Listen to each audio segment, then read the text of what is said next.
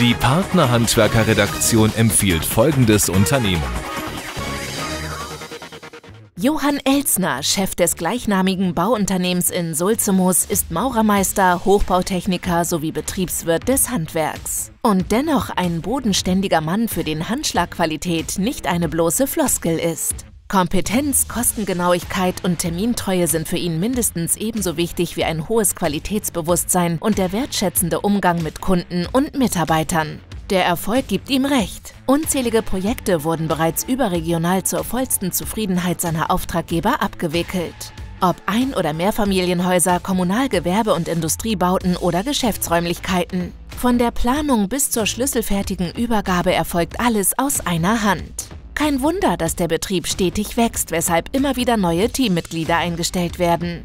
Johann Elsner Bauunternehmen. Eine klare Empfehlung der Partnerhandwerker-Redaktion.